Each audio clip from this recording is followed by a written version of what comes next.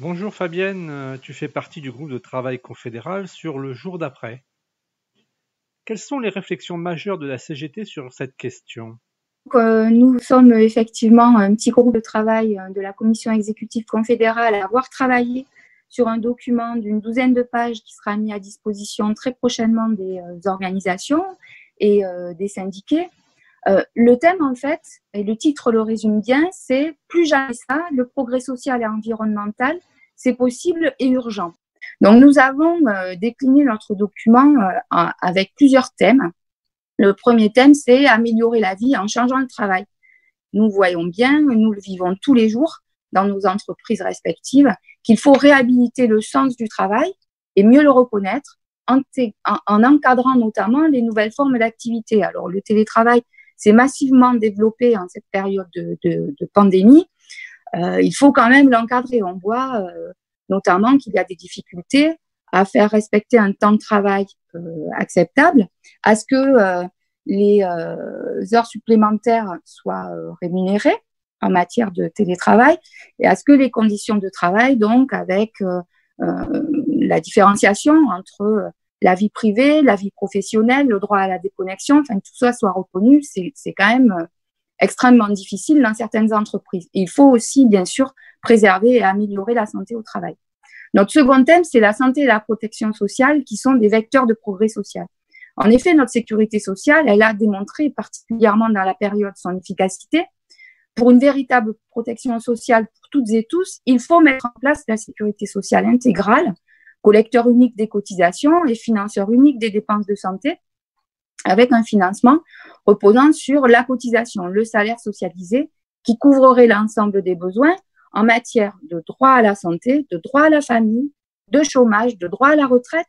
En effet, le projet de réforme du gouvernement qui est, euh, euh, selon euh, les, les, termes des ministres, suspendu, doit être abandonné, des négociations doivent s'ouvrir. La CGT a beaucoup porté euh, ces, propositions pour améliorer le système existant dans la répartition euh, de répartition par unité. Et puis le, le handicap. Il, faut, il, y a environ une personne sur cinq qui est marquée par le handicap. Plus de 2 millions vivent sous le seuil de pauvreté. C'est absolument inacceptable. Vraiment travailler euh, sur ce sujet-là également.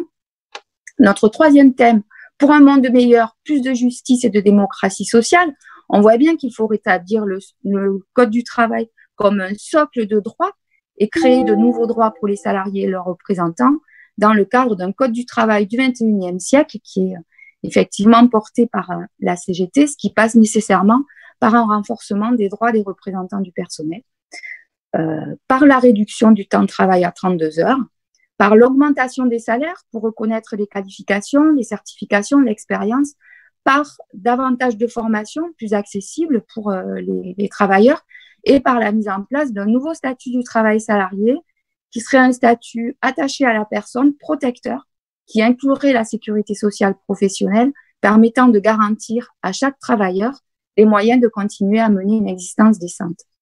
Nous avons un quatrième thème qui s'intitule Pour une reconquête et une relocalisation de l'industrie dans le respect de l'environnement et de la planète.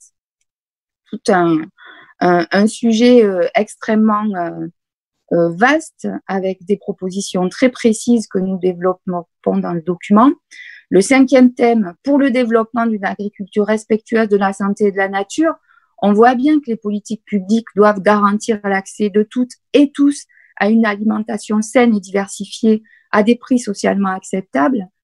Mais pour passer du slogan au réel, il y a toute une production alimentaire qu'il faut repenser, tout un accès, tout un droit à l'alimentation sur lequel il faut travailler et euh, auxquels les politiques publiques doivent permettre euh, d'accéder. On, voit euh, dans cette période de crise que le nombre de personnes qui ont recours à l'aide alimentaire a explosé de façon extrêmement importante dans notre pays. Il faut vraiment repenser tout ça. Il faut que les citoyens, tous les, les citoyens puissent avoir accès à, à l'alimentation. C'est absolument fondamental. Nous avons un sixième, thème pour une reconquête des entreprises publiques et nationalisées autour des besoins fondamentaux, puisque les carences que nous avons constatées dans le secteur pharmaceutique euh, dans cette période mettent en évidence notre grande dépendance à d'autres pays, l'Asie, les États-Unis, qui est due au morcellement des chaînes de production dans la mondialisation, un nouveau cadre social, écologique, économique doit absolument être mis en place qui s'appuie en France et en Europe sur des priorités nouvelles en constituant de solides pôles publics dans les secteurs stratégiques, dans l'énergie, le transport, les médicaments, la finance, la communication. C'est euh, sur cette base-là que nous pourrons euh, avoir euh, un nouveau socle qui permettra une nouvelle politique au bénéfice de toute la population. Nous devons aussi améliorer et développer les services publics. C'est le septième, le septième thème de notre document.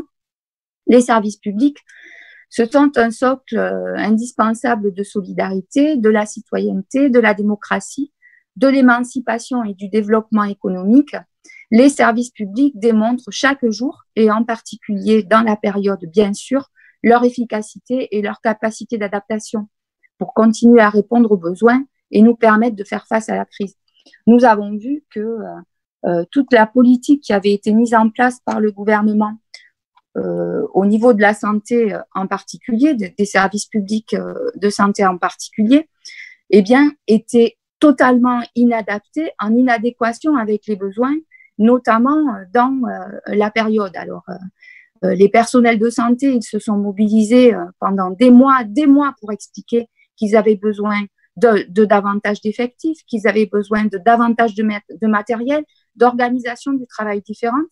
Et c'est au moment où l'État s'est retrouvé dans l'obligation de remettre dans les mains du personnel toute la gestion, par exemple de l'hôpital public, que on a bien vu qu'on on pouvait faire face à l'épidémie. Il n'y avait pas d'autre solution. Et la gestion de l'État, de ce service public-là, la gestion des hôpitaux n'était pas du tout en adéquation avec les besoins.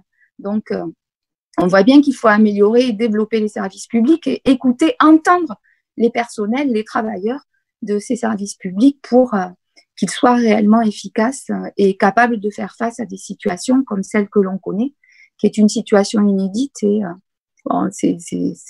c'est vrai qu'il faut remercier, applaudir, féliciter, encourager les personnels de, santé aujourd'hui. On le fait à 20 heures à nos fenêtres, mais ça suffit pas.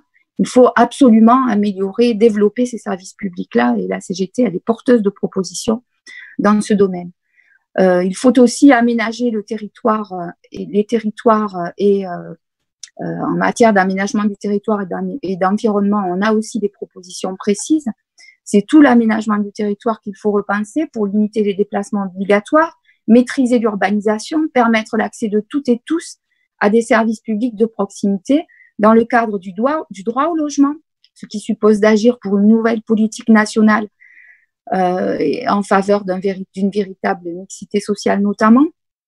Il faut prendre en compte les problématiques de transport. Le transport est aujourd'hui le principal contributeur d'émissions de gaz à effet de serre. Il faut vraiment en tenir compte.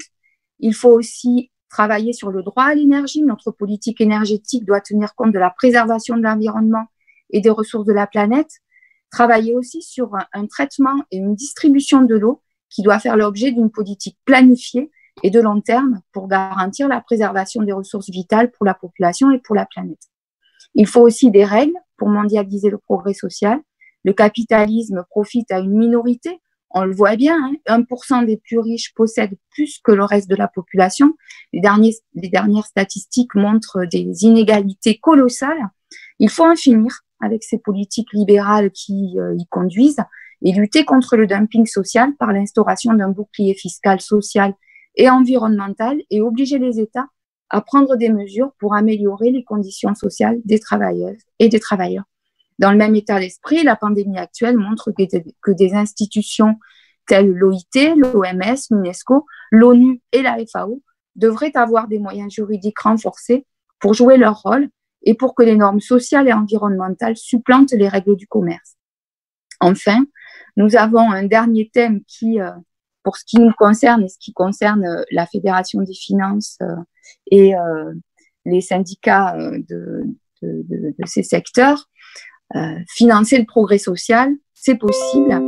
Les richesses produites en France, le PIB dont on parle tant, dont, le gouvernement euh, parle tant, dont les économistes libéraux parlent tant, représentent aujourd'hui trois fois plus qu'au début des années 80, mais sans mesure forte. La crise économique qui a été précipitée par l'épidémie va conduire à l'explosion du chômage et à l'appauvrissement de la population. Elle y conduit déjà. pour répondre aux besoins de la population, il y a un besoin vital de mobiliser en toute transparence et sous le contrôle des citoyens des fonds considérables, en particulier pour développer les services publics. Il faut une meilleure répartition des richesses. C'est ce que réclame la CGT depuis longtemps.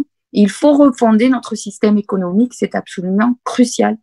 Une réforme juste, globale et cohérente de la fiscalité, d'abord, est absolument nécessaire.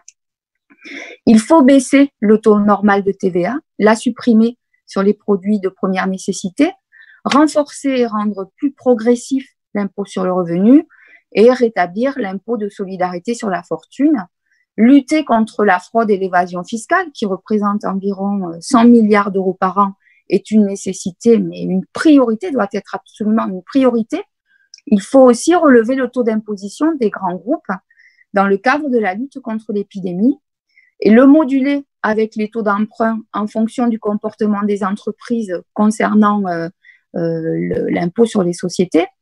Il faut effectivement modérer l'impôt, euh, les, taux d'impôt et les taux d'emprunt sur des sociétés en fonction de leur comportement, les modérer pour celles qui favorisent l'emploi, les salaires, l'égalité professionnelle entre les femmes et les hommes, les investissements, la recherche et la préservation de l'environnement, et il faut rendre euh, le taux donc euh, sur les sociétés et les taux d'emprunt euh, dont elles bénéficient pénalisant pour les entreprises qui spéculent, qui licencient, qui précarisent et qui délocalisent.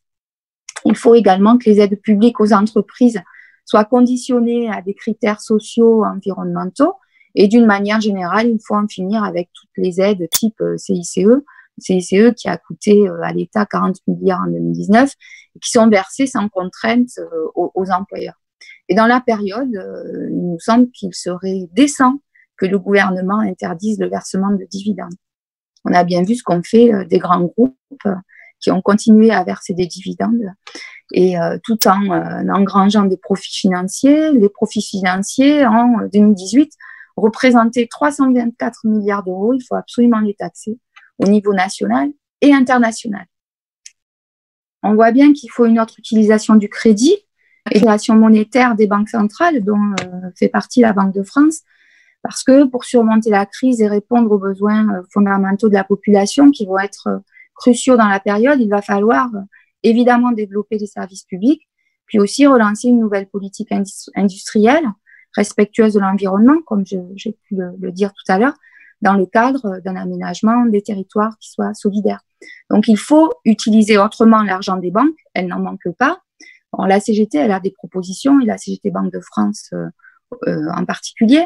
Il faut que les crédits aux entreprises servent à l'emploi, à la création de richesses dans les territoires et à la préservation de l'environnement, et qu'ils ne servent pas à la recherche de rentabilité des capitaux, comme c'est euh, trop souvent le cas. On a vu que on avait 1100 milliards d'euros en France et 4500 milliards dans la zone euro qui étaient débloqués pour euh, être euh, attribués aux entreprises pour qu'elles puissent financer euh, leurs leur projets, ben, il faut que ces projets-là, ils soient effectivement utiles à la société et qu'ils servent, comme je le disais, à la création d'emplois notamment ou au moins à la préservation de l'emploi. On a vu que beaucoup d'entreprises étaient en difficulté, donc il faut qu'elles puissent utiliser cet argent-là, non plus pour rechercher euh, la rentabilité absolument, mais euh, pour euh, qu'il bénéficie à toute la société. On a 3 000 milliards d'euros que la Banque centrale européenne prévoit de consacrer au financement de, des crédits à des taux très incitatifs. Euh, bon, il faut qu'ils poursuivent euh, ces objectifs. Et en France, la Banque de France, évidemment, doit y veiller. Euh, une de nos propositions est aussi celle de créer un pôle financier public je l'évoquais aussi dans, euh, enfin, tout à l'heure, dans les grands pôles publics qui sont nécessaires de notre point de vue euh, à l'économie. Ce pôle financier, il mettra en réseau des institutions financières qui exercent des missions de service public et d'intérêt général, telles euh, la Caisse des dépôts et consignations, la Banque, la banque publique d'investissement, la Banque de France, bien sûr. Et ce pôle permettrait de peser sur le comportement des banques commerciales et de réorienter les centaines de milliards d'euros de l'épargne populaire vers des investissements dans les services publics, le logement ou l'industrie, sous contrôle public et social. Donc, évidemment, cela permettrait de, développer les services publics à une échelle inédite. Et, et enfin, plutôt qu'augmenter de 1050 milliards d'ici à la fin de l'année, ce sont des annonces qui ont été faites, leur portefeuille de titres achetés sur les marchés, la Banque centrale européenne, la Banque de France, les autres banques centrales nationales de la zone euro devraient consacrer cet argent à financer, via les institutions financières publiques que sont la Caisse des dépôts et la Banque européenne d'investissement, des projets euh, démocratiquement élaborés en territoire. Donc, euh, c'est vraiment une proposition forte. Pour le moment, c'est pas du tout ça qui se dessine, mais bien sûr que nous pèserons euh, de toutes nos forces avec tous nos militants pour que ces propositions soient entendues. Elles nous semblent primordiales, hein, tout à fait nécessaires pour que l'argent mis dans, dans, de façon extrêmement massive et depuis déjà longtemps, mais encore plus aujourd'hui, mis dans l'économie serve vraiment à l'économie réelle et pas toujours aux plus riches.